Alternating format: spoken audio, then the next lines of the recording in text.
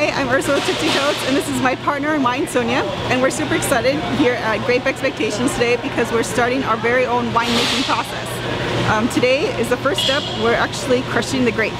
I don't know what that entails yet, but I'm sure they'll tell us. I think you'll enjoy today.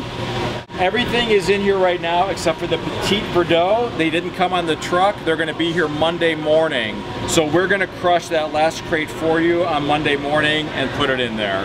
It's not going to affect anything because the fermentation process doesn't start till tonight. So it's going to be 36 hours later it's going to be added. So we'll uh, add that for you next week. And is this your first time with us? Okay, I want to welcome you guys to Grape Expectation. I'm Fireman Steve. This is Garney. We're going to be helping you crush the grapes today. You've got 750 36 pounds of grapes here. 21 containers, they weigh 36 pounds each. Only reason I bring up the weight, you want to work in tandem because they're very heavy and you don't want to spill the grapes on the floor. This is the Crusher Destemmer. That's what we're doing today. It's not like the old I Love Lucy show. You don't have to take off your feet and stomp on them. This machine does it for you. You guys are going to pour the grapes in here. Stems are going to come out this side. Everything else, the juice, the, the skins, the grapes are going to go down that hose into the tub. It's going to make 53 gallons of wine. It's going to fill this up about two-thirds of the way. Next week, you guys, we're going to come for the pressing. That's when it goes out of the tub into the barrel where it's going to be for about the next nine months. When we leave here in about 15 minutes, you're going to go over to the wine tower. The professor is going to add a few chemicals to it, a little yeast. He's going to start the fermentation process. And then we recommend drinking heavily between here and there because it's a chemistry lesson. So if you guys want to take a glass of wine with you over there, or if you need some wine, we can open a bottle for you. It's not a problem. So when you start this process, Garney's going to help you guys break down the crates. When you pour the grapes in here, just don't reach your finger into the machine. You want red wine, but you don't want really red wine. You could lose a finger in here. You don't want to do that. And in case they haven't warned you yet, or not warned you, but cautioned you, when you take this wine home next June, don't drink it all right off the bat. You have to show some self-restraint. It's very young wine. It's most commercial wineries keep it in the barrel for a year and the bottle for an additional year before they release it to the public. So when you go to Total Wines, you're taking home a two-year-old bottle of wine. This is a nine-month-old.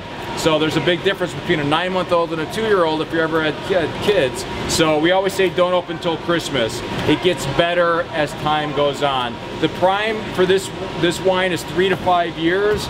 No one's ever actually made it three to five years, so that's still an urban legend, but um, it, it, does get, uh, yeah, especially with this blend. I, I, made this exact blend in 2011. This is our Bordeaux blend. It's very famous. Uh, yes, I had a bottle Tuesday night, I, and I hadn't had one for about a year. Amazing. I'm not kidding. It was real. I'm like, I didn't. Even, I couldn't believe it was ours for a minute. It was very, very good. So this will change, and that was that was 2011. It's three year three years old right now. Completely different than it was a year ago. So especially with this, keep it. You're gonna thank me. It's really, really good stuff. This is a great blend. And like I said, we will add the Petit Verdot on Monday, so you don't have to worry about that. Next week, don't look this nice. You're gonna get messy. If you got some friends you can bring with you, because it's a lot more labor intensive, obviously we'll be here to help you, you know. But don't dress nice, don't wear white, because you're gonna get, you will get dirty next week, okay?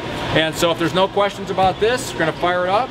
What, what grapes are we looking at here? Oh, okay, this is, on the top here, they're marked here, these are the Cabernets. Oh. Yep. Okay. Um, Cabernet, Cabernet. The Cabernet Franc are down here. Merlots are on this side. You're going to notice the different color in the Cabernet Franc. It's almost like a lavender color. It's a much lighter grape. So I'll, I'll, try to point it out to you when you guys get down there. These are very dark purple. Those those are almost lavender in color. Are all the grape, uh, that, that's uh, sweet. Okay, are they're all sweet. Oh yeah, they're, yeah, they're all going to be sweet okay. at this point. In oh, fact, okay. at the end, when we have the 53 gallons of mush there, okay. dip your finger in there, taste it. It's like the best grape juice you ever had. It's very sweet, and it will not be like that next week. It's going to be very young, immature wine. We all make mistakes in our youth, right? So I'm going to fire this thing up. We just start dumping it? Yep, yep.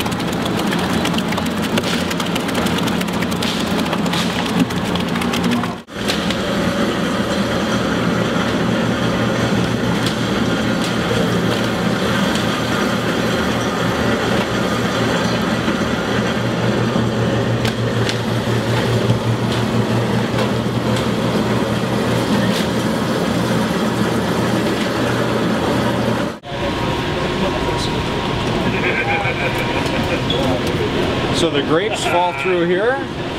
This shaft spins. It's got all these propellers inside there. This all spins really fast. The grapes get crushed by these propellers in here. The stems get tangled up in here. They get pushed out this side. That's why you saw the stems going out. Then there's an auger at the bottom. Looks like a long corkscrew. That spins, pushes all the grapes, skins, juice forward into the pump. Goes into the hose, down into the tub. I'm gonna fire this back up, get you guys a few more bottles of wine. Then I'm gonna drain the hose in there.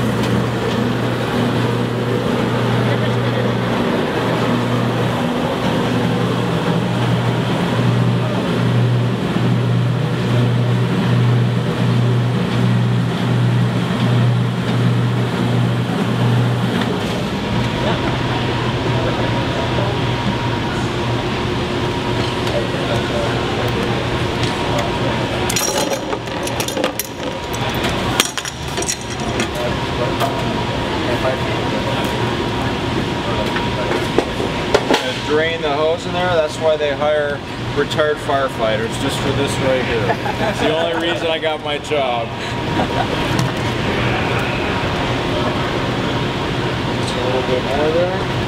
What we're gonna do now is, I'm gonna have you put your finger in there and I'm gonna have you taste it. Did. It's delicious. Is that great? Yes. It's the best tasting grape juice you're ever gonna have. This is not Welch's grape juice. This is not, oh. this is, this is oh, delicious. Now, Put your Welch's finger in there, yeah. Welch probably wishes they had They wish like they that. had, they wish they could afford it. Some more James. James. This is very expensive and very delicious grape juice. We gotta taste it now before we inoculate it. So we're gonna inoculate it in a minute. Now, now, when this wine, when this is on that side of the uh, winery, we call it a mess. When you come to the philosophical and intelligence part of the winery, we call it must. And that's a wine term. So this, until it is turned into wine, is called must. So anytime you hear the word must, that's a new wine term that you should need to know. M-U-S-T. M-U-S-T. Brix, B-R-I-X, is what you watched me over there with the refractometer. Check, so you got must and you have Brix. So, we're going to inoculate the must. Inoculation means, another wine term, means we're going to pitch some yeast in here. Now our yeast is very, very strong. It comes from the south of France, from the Bordeaux region, also from the uh, Rhone Valley, and some comes from Italy. It, the reason why we use that yeast is because it's stronger than any parasitic yeast that you brought in on your earlobes, your eyelashes, your hair, anything that's in this room, or anything that is on those skins right now from the vineyards because without without adding any yeast and any nutrients, given enough time and enough heat, fermentation would start on its own, but it might take five weeks. We got a one week model, just like every other winery in the world. We have 3,000 plus people to put through here. So we use very strong yeast and we add some nutrients. We're going to add some thiamine and some vitamins and some amino acids and uh, some diammonium phosphate, and we call that Viagra. Viagra for the yeast to give it energy so that we can produce wine quickly within that one week period. Uh, I'm going to show you some of the things that, that we do and it's a little bit of the chemistry but there's no test and you don't have to remember any of this okay but every single grape contains the following items glucose, fructose, lactic acid, malic acid, water, some amino acids, some pigeon droppings, any kind of things that flew over the vineyard. Every single grape, every one of those contains these items, okay? I'm going to show you some formulae that are associated with that. Again, you don't have to remember it. I just want you to see the recurrence of carbon, hydrogen, and oxygen in the winemaking process, which is similar to the building blocks of life. Okay, here's one of the acids, of the sugars actually. This is glucose, carbon, hydrogen, and oxygen, and certain molecular combination, which you don't have to remember. Here's one of the acids, carbon, hydrogen, and oxygen, and on and on through the process. Okay. Anybody remember what this was for basic chemistry? Basic science? Just hydrogen. Hydrogen, very good. And Water. water, cool. That's And the only one I'll probably I'll ever know. uh, how about this one? Potassium. Potassium. Right. And how about this one? Potassium chloride. potassium chloride, which is a salt. Now, I show you that because we have potassium metabisulfite, which we use as a cleaning agent around here and a sanitizing agent, and it's also a preservative that helps the wine last for a long period of time without turning into vinegar. So we got some bags around here with K's on it. So people say, KJ, what's that? Okay, here's another one. Nine parts potassium. If you think outside the box, K9P, dog pee. Well, you gotta have some fun with this, you know what I mean? How about this one? Sodium. Sodium. And Sodium chloride. sodium chloride, which is nothing more than table salt. And this one's a tough one because it's a radical. Banana. B-A-N-A-N-A. We would, I should have got that one. I should have got that one. did should have got that one. We fool a lot of the chemists and a lot of our chemical professors that come through here. My chemistry professor years ago pulled both K9P and banana on me. I never forgot it many, many years ago.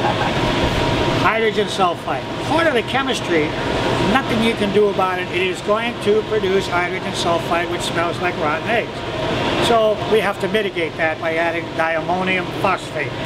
Remember I said ammonium smells like ammonia.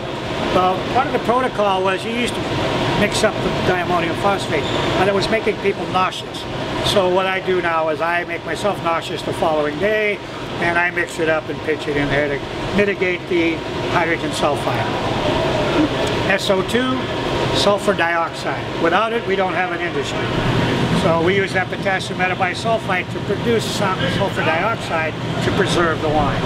It's only, uh, just because a bottle of wine says contain uh, no sulfites added, doesn't mean there's no sulfites in it. This means they didn't add any. Part of the chemistry. Carbon dioxide.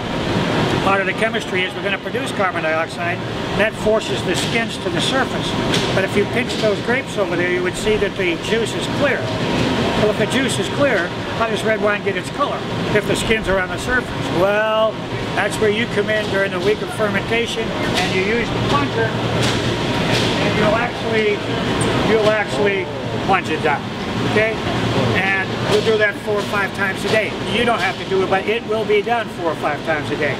The thing is, you don't want to jam it to the bottom and split the seeds out. Causes bitterness. You got to be very gentle with it because it's a love affair. This is romance. You have to be nice to the wine, okay? So during the week, we'll do it in the morning, I'll do it in the evening, but if you get a chance to come over and do it, and do a whole row, because every recipe is different, you'll see the different characteristics of the different grapes.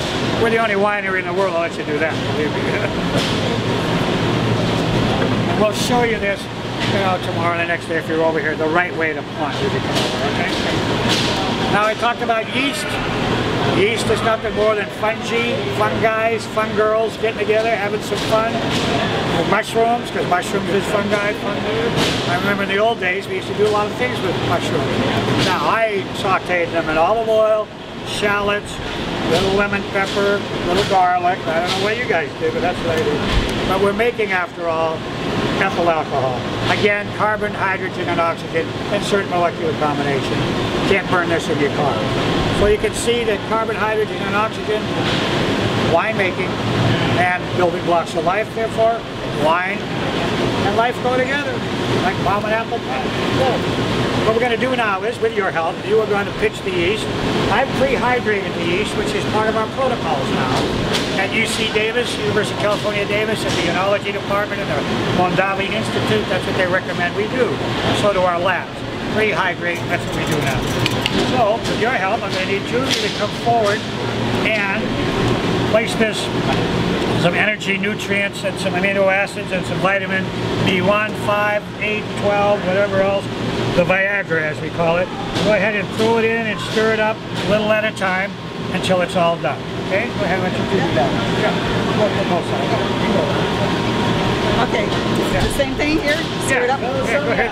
Yep, go ahead. Yeah, good. I'm finally doing something right. at a time, yeah.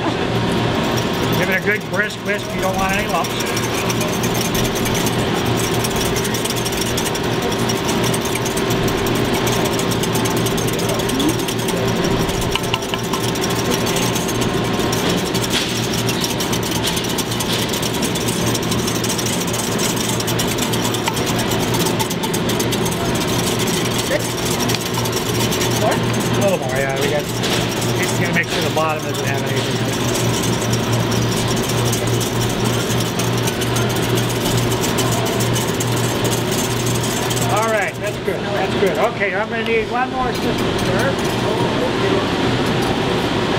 Now, you, you're the emergent. This is chemistry after all. And we don't want any explosions, so Oh yeah, they mix the acid with water. Never put, never put water into acid. yeah. Remember that one? Yeah, I, I remember very well. Yeah. Okay, now if you grab this one, sir, Okay. on over here. You should come here, my dear. Yeah, bring that. And then you come around, please. You stand right there. In case there's an explosion, use the emergency. Now, what I want you two to do is to pour into the middle. I want you. I want the fluids to mix. Oh, to mix. Okay. Yeah, right in the middle. Just don't, just don't crush the. Uh, yeah, good. Go ahead. Yeah, go ahead. Good. Good job. Doing it? More fast. or- Yeah, all right. As long as we get it all in and they mix it up. Okay. All right, good job. Oh, good. Go ahead and put your scoop it in there. Okay, rinse it out. And just throw it out. Okay, good. Okay, now go ahead and put them in the back over there, please. There was no explosion, so we were lucky.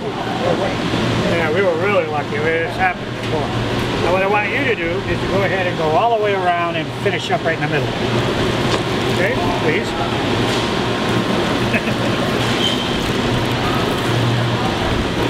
Good, good. Finish up in the middle. Great. Okay, now go ahead and put that down. Oh, boy, great. Now, what we used to do is start mixing this up right away. But again, UC Davis and our labs say, let things lie. Let if, if you let nature take its course, you'll have a more vigorous fermentation. If you look through a microscope right now, you'd see a lot of activity, like microbiology. Yeah, it's attacking that sugar. It wants it with the help. Yeah, sure, with the help of the yeast and the nutrients. So we're gonna. A lot of those organisms are trying to have orgasms right now. I mean, it's going and having fun. So we're going to let the honeymoon continue overnight, and tomorrow we'll start the bunching process. Okay? So I'm going to put a uh, put the thing back on it. Then I'm going to put a little sign on it to keep the uh, room service people away.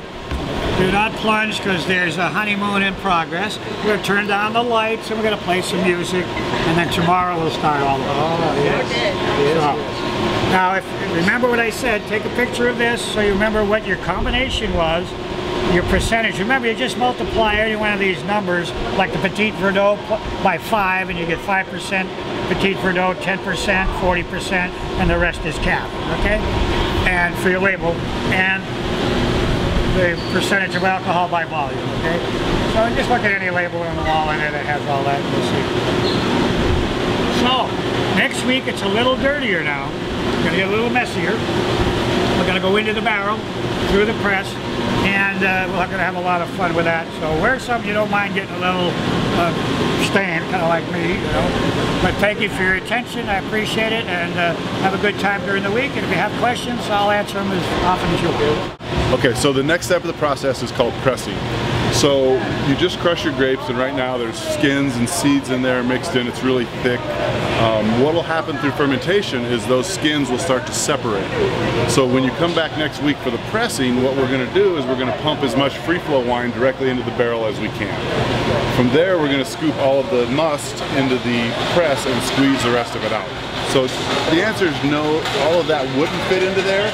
Um, but by next week, once it starts to separate and you press it out, it'll be just enough to fill one of these 200 liter barrels of wine. So, and that'll be next week.